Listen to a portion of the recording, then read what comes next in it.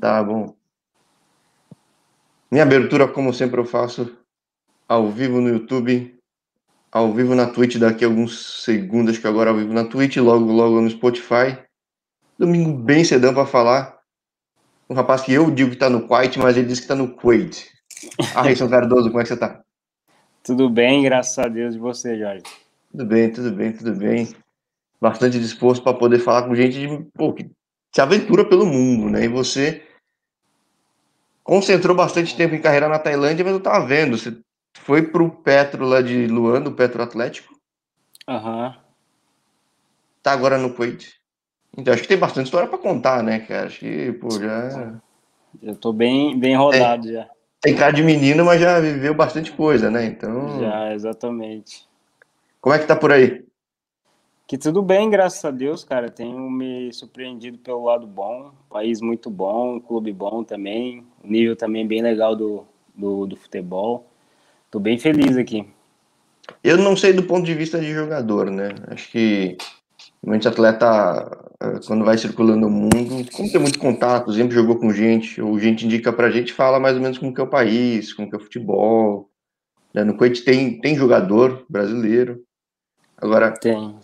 Uma coisa que, assim, na visão de quem não é do mundo da bola, digo por, por mim mesmo, se você fala, sei lá, Emirados Árabes, falar Dubai, fala falar do Bahrein, talvez, do Catar, o pessoal tem uma imagem clara na cabeça. Quando você fala que vai pro Kuwait, cara, você imaginava que era do jeito que é ou não? Não, não imaginava. É... Mas é um país bem legal, cara, sabe? Na questão do nível do futebol, às vezes é... o pessoal que está no Brasil acha, pô, é mais fácil de jogar fora do país, lá no mundo árabe e tal. Mas eu acho que acaba sendo até um pouco mais complicado, porque você aqui pode jogar só cinco estrangeiros. E aí tem os jogadores locais, e querendo ou não, os jogadores locais não têm a qualidade que um brasileiro tem. Então acho que fica até um pouco mais difícil para a gente do que jogar no Brasil, entendeu? Sim, eu falei outro dia com o Diego Jardel, que está agora no, tá nos Emirados, né? Ele está em Ajiman. Ele falava, putz, cara, quando eu fui pro Catar, a dificuldade que eu tive foi que justamente como tem essa mescla e tem uma cobrança muito no estrangeiro, porque tem um peso grande no time, é que dependendo da posição que ele tá, e o caso dele era um meio armador, a bola não chega, né? Ou, ou o racional que ele tinha de jogo mais rápido, os caras não tinham. Então, o que às vezes era um negócio meio lógico, fazer um dois, fazer alguma coisa, não tinha. Então, para se virar era complicado. É também assim no Kuwait ou não? Exatamente, a mesma coisa. A gente é, é muito mais cobrado que no Brasil, por exemplo, porque querendo ou não, a gente ganha mais que eles, é, tem um pouco mais de qualidade, mais experiência e a gente é mais cobrado. Eu já me adaptei com isso, né? Que eu tô bastante tempo fora, já, já me adaptei. Eu jogo também na posição mais ou menos igual a dele. E é difícil, cara, porque a bola não chega e às vezes é, você quer fazer um dois, quer fazer uma jogada um pouco mais rápida você acaba fazendo e o cara não pensa igual. Mas aqui ainda tem um atacante, o Hamilton, que estava no Manaus, chegou agora também, é a primeira vez dele fora, ele está se adaptando também. E a gente acaba que consegue jogar um pouco ali junto. Mas querendo ou não, é igual eu falei, é muito mais difícil de você jogar fora do que jogar no Brasil. Porque no Brasil os atacantes têm. Os atacantes, ponta, os volantes, tem uma qualidade absurda, né? Sim, sim. Independe muito do time, né, cara? No Brasil tem tudo quanto é canto, né? Sim, sim. Brasil toda. Eu até brinco, o campeonato Série D, Série C é muito forte. É, às vezes é até mais forte que aqui fora, entendeu? O nível, né? É, mas fazer o que? Faz parte, né? Foi o que a gente escolheu, a gente tem que, tem que aceitar, tem que entender também o lado do local, porque muitos deles às vezes é, trabalham pelo período da manhã e jogam à tarde é, porque às vezes o salário deles maior vem dessa parte do trabalho. Então a gente tem que entender também ter e achar a palavra-chave fora do país é paciência. Sim, porque você está desbravando, né? E, e nessa de desbravar, é uma caminhada muitas vezes solitária, acho que não é teu caso, né? Você deve estar com a família toda, né? Se não estiver falando besteira. Até não. não tô, até não tô. Aí não, aí não, né? Aqui não, por causa do, do Covid. Aí acabou que, que elas não puderam vir, né? Por causa do Covid, tudo fechado, aeroporto fechado, aqui também tá, tá tendo toque de recolher. E aí complicou tudo, mas na Tailândia elas estavam sempre comigo. essa é uma parte também que a gente tem que, que superar também, que é muito difícil quando a família não tá junto, né? Querendo ou não, às vezes a gente chega do treino, chega do, de um jogo cansado, a gente quer ver a, a filha, quer ver a esposa e tal. Mas é a carreira de jogador, né, cara? Às vezes é, é solitária. Sim, e, e bom, Covid, como é que você, você chegou quando aí no, no, no, Você tá em qual clube agora? Você tá no Casma, né? Agora você. Uhum. É, você chegou, chegou já na pandemia? Já, ah, chegou agora, né? Faz alguns Cheguei agora. Um mês, alguma coisa. Uhum.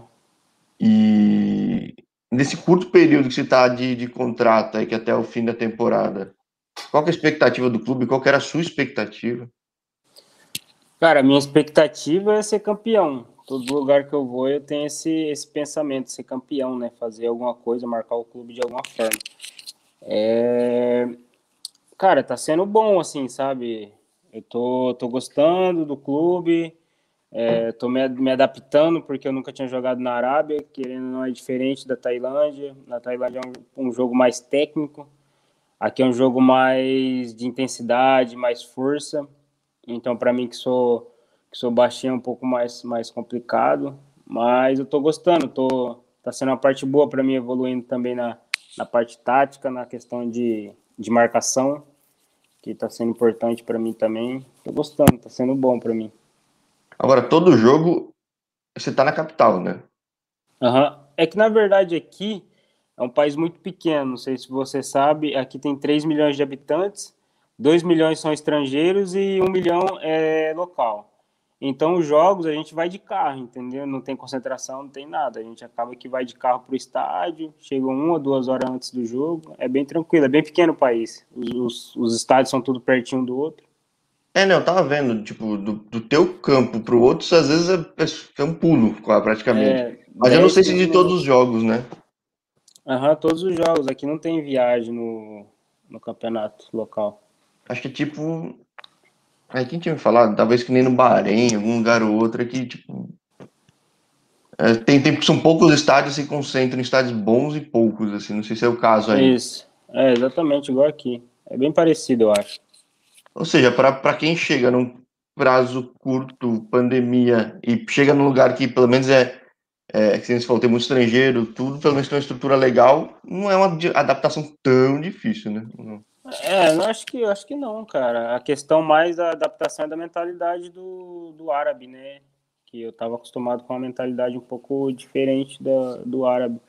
Mas assim, para mim tem sido tranquilo, sabe? Para mim tem sido tranquilo a questão da adaptação.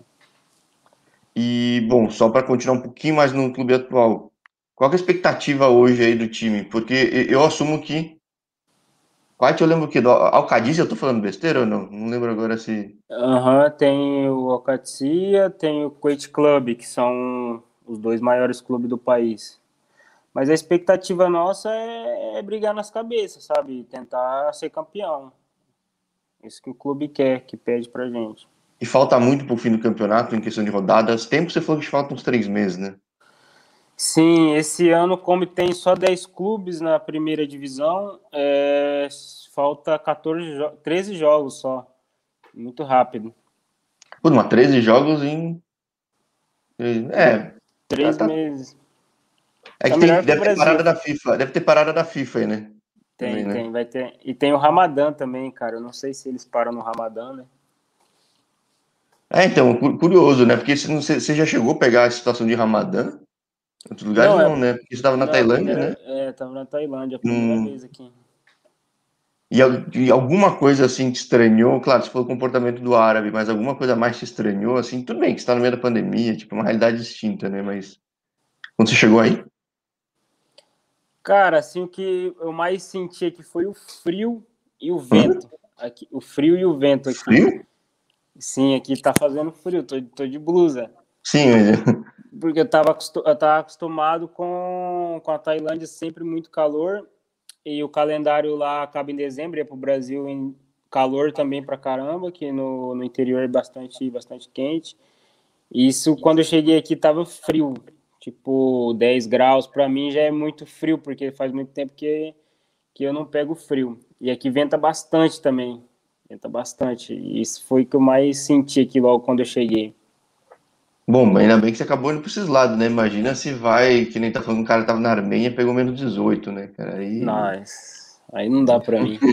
E aqui tudo é muito, muito extremo. Chega em junho, julho, faz 50 graus. Jogo só de noite, eu não.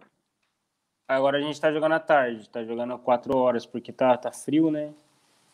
Então tá dando para jogar à tarde.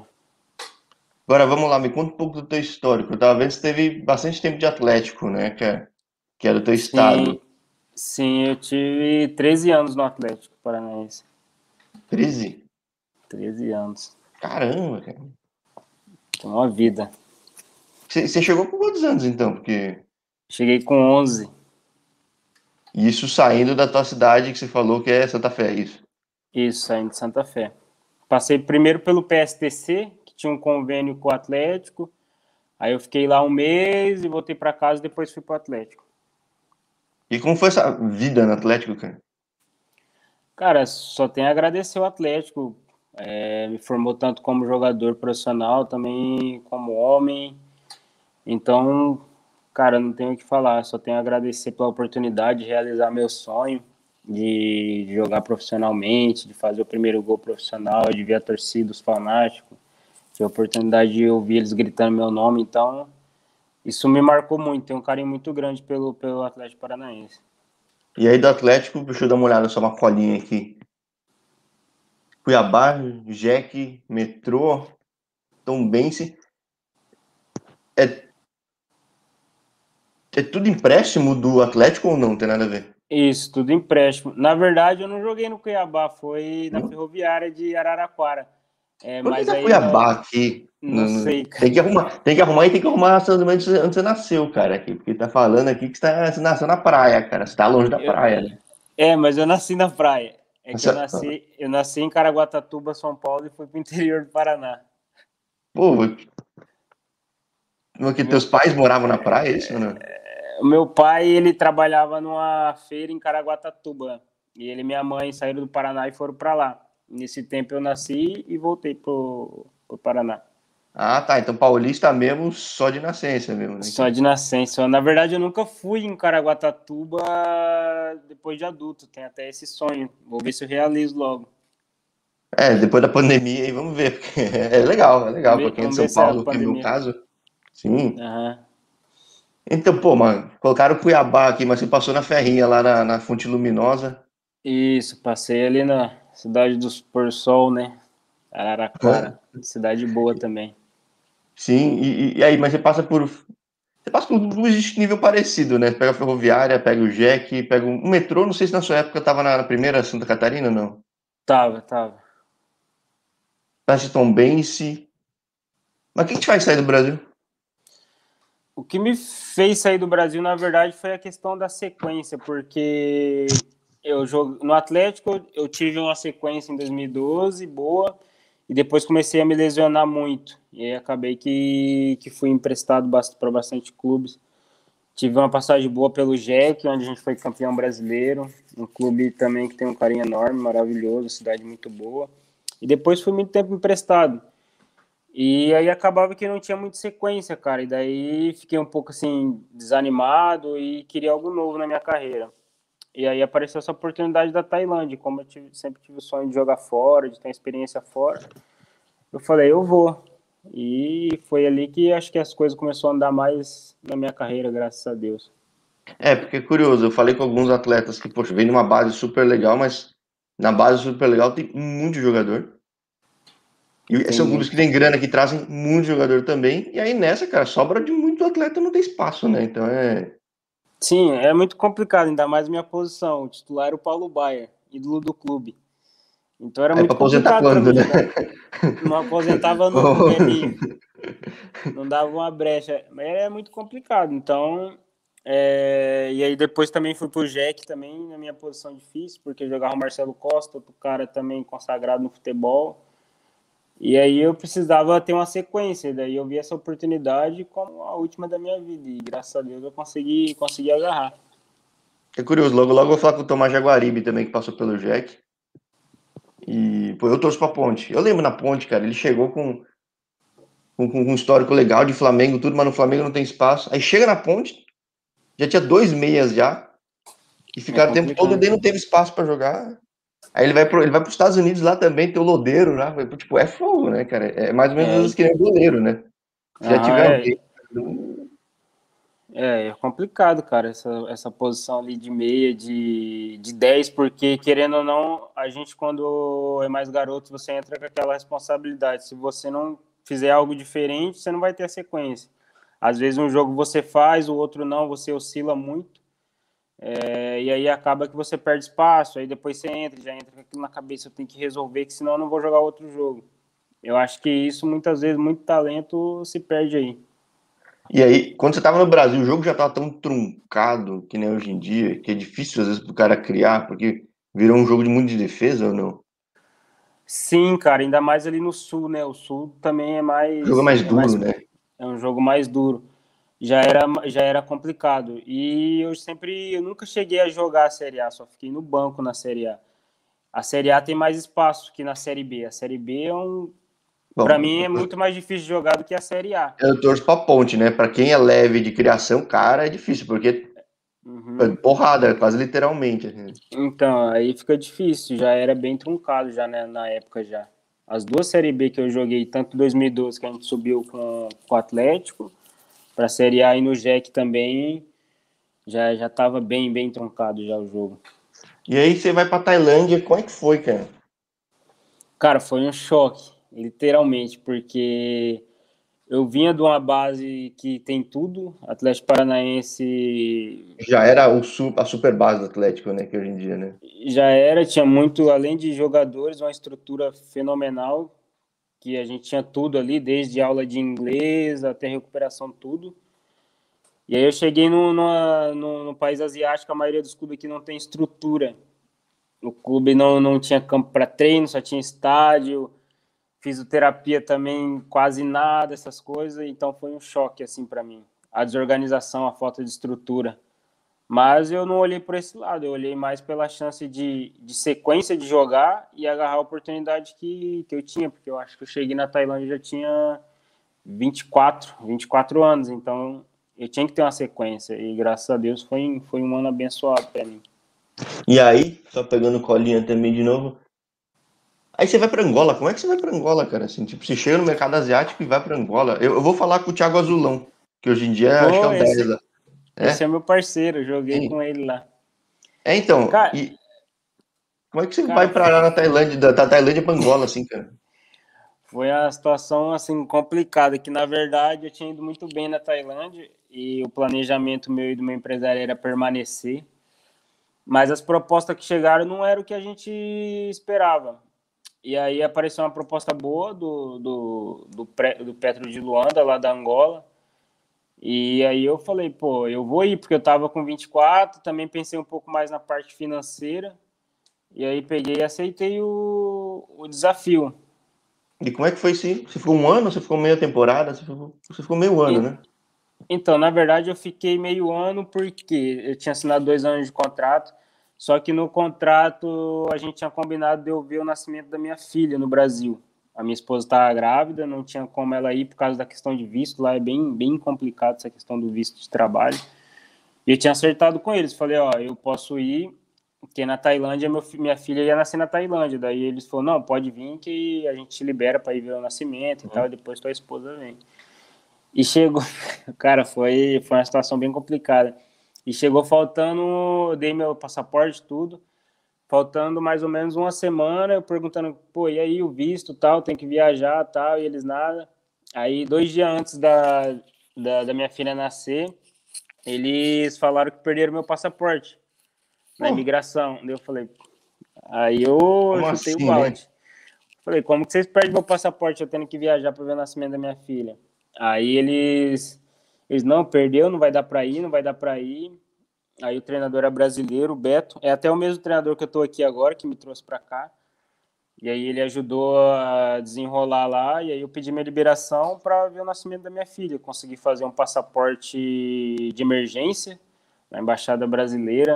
A dona Olga, se não me engano, me ajudou muito. Foi um anjo na minha vida que conseguiu fazer tudo lá para mim na Angola. E o pessoal me ajudou e graças a Deus eu consegui viajar. Aí eu paguei minha rescisão e, e saí do, do Petro.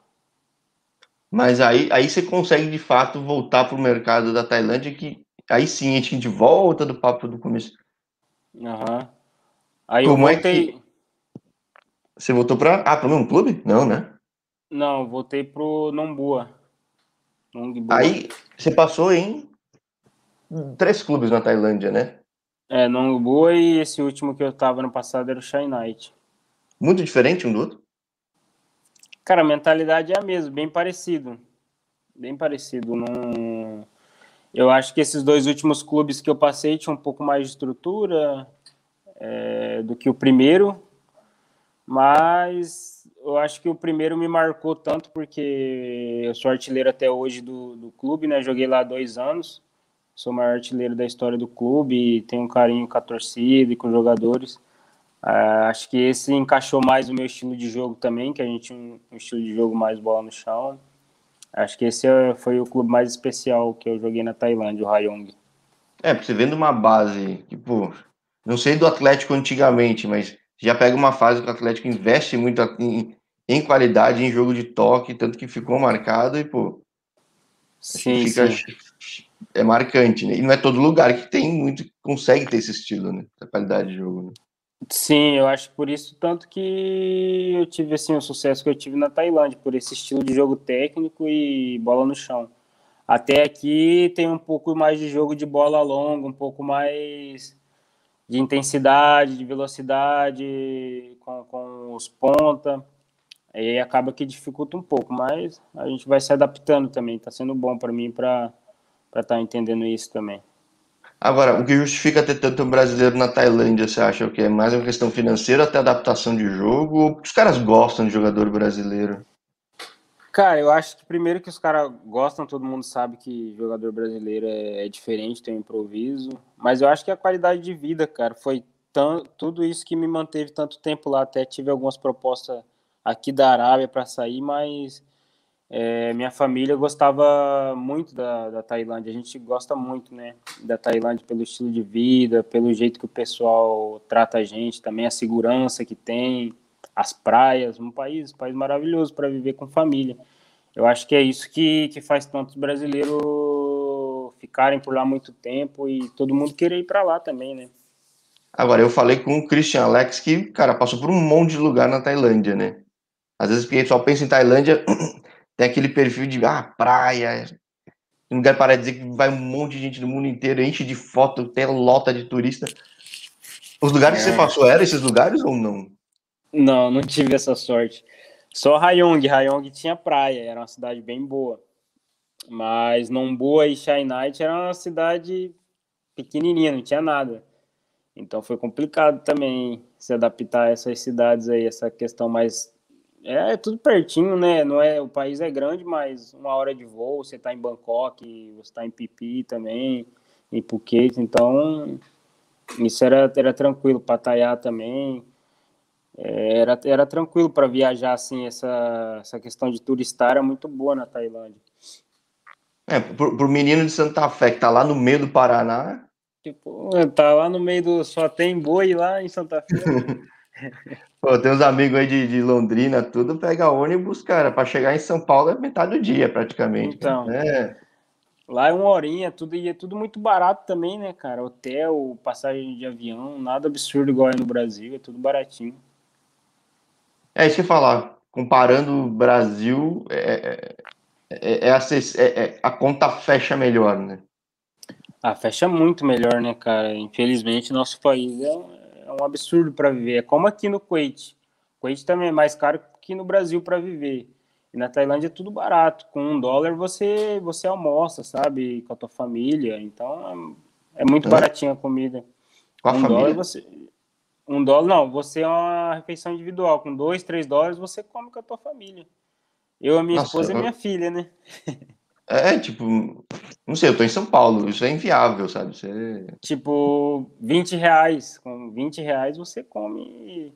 Assim, a comida lá de rua, sabe? Não você vai no shopping. No shopping é um pouquinho mais caro, mas você paga como 60 reais, você e sua família. Isso no Brasil é, não sei em São Paulo, né? Mas em Curitiba, que é uma parte onde mais ficou, é muito mais caro. Curitiba, Maringá, você vai gastar 150, 200 reais para comer com a tua família no restaurante. É, o interior do Paraná até é relativamente acessível comparado com o resto, mas o interior do interior, né? Acho que...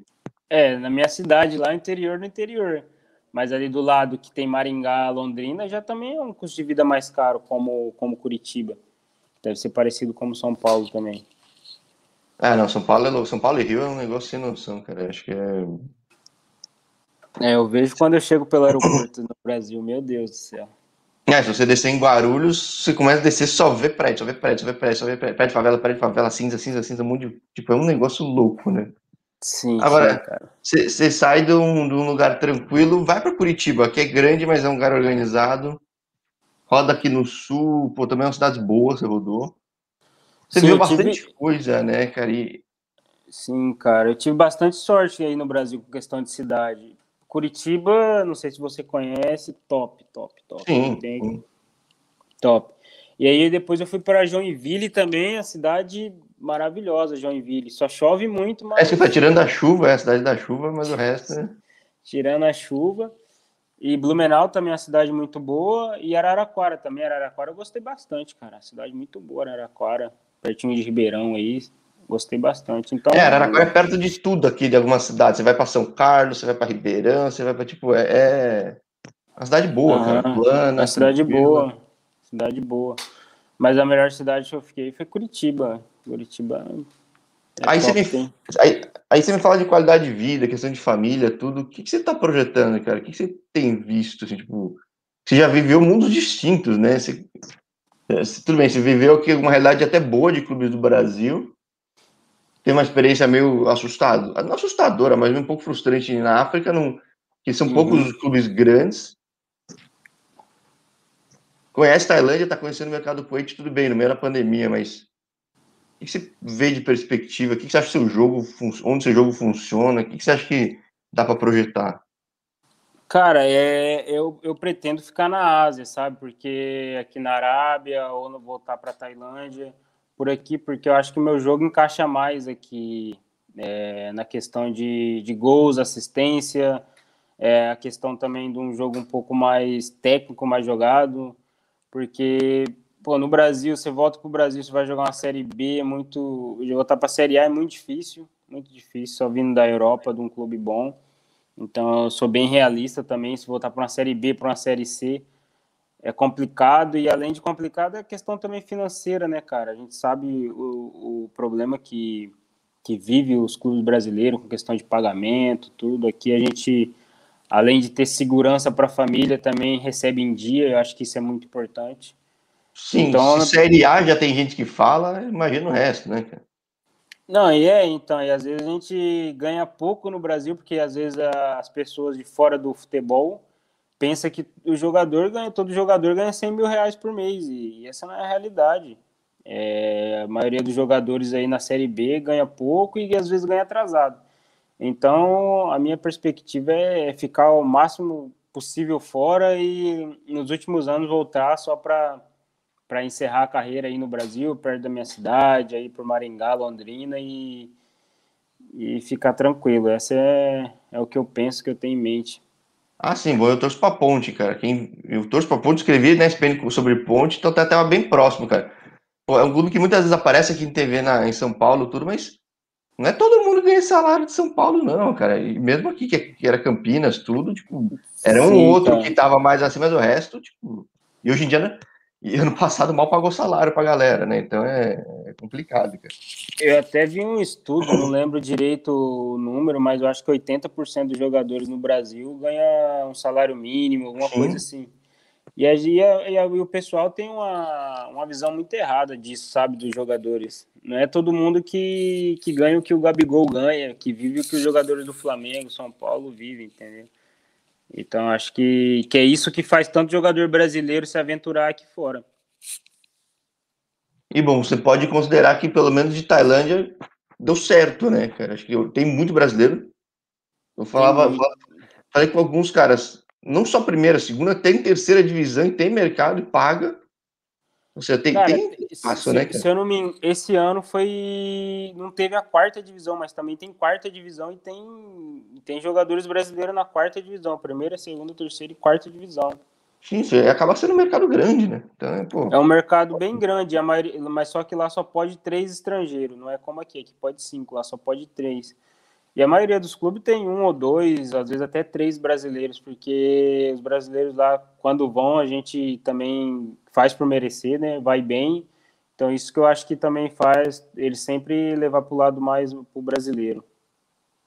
Pô, legal, legal. Acho que é, é, bom quando o brasileiro consegue deixar marca em algum lugar e, e, ter seu espaço, né? Porque não é todo lugar. Às vezes, se você pegar até experiências um pouco mais antigas dos primeiros que foram para fora, às vezes não deixaram a melhor marca e para reconstruir a imagem não é tão fácil, né? Então.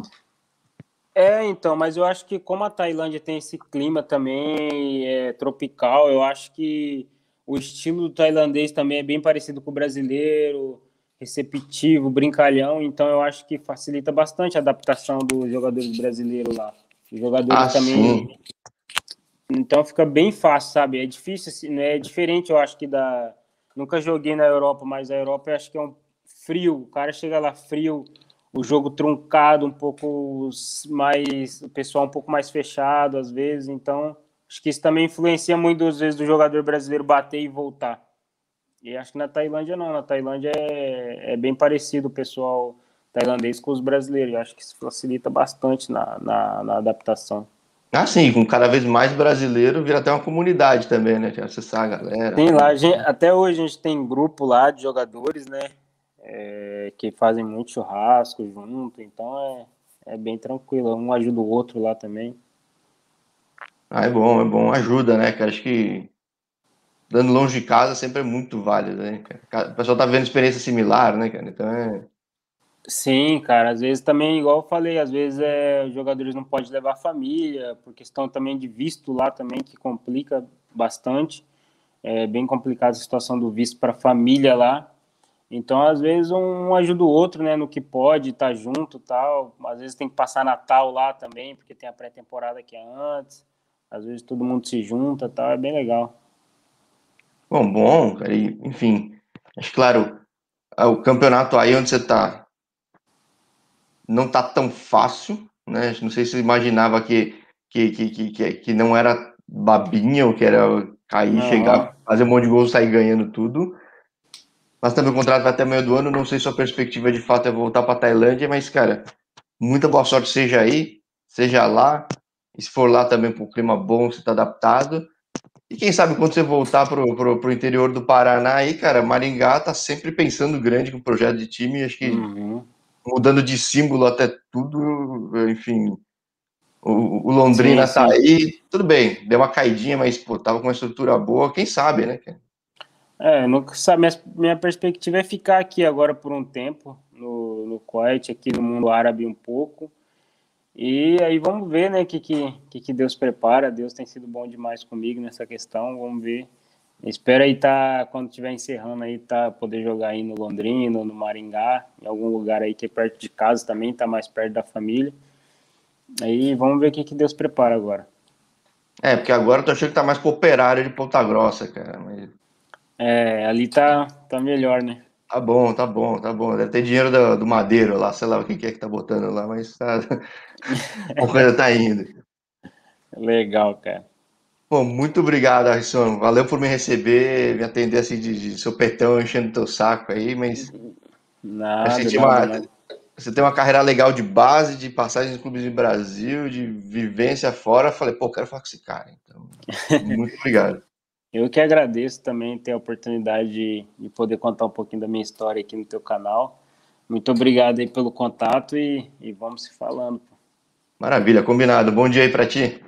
Valeu, cara. Um bom dia para você também. Um bom domingo. Fica com Valeu, Deus. Um abraço. Aí. Valeu.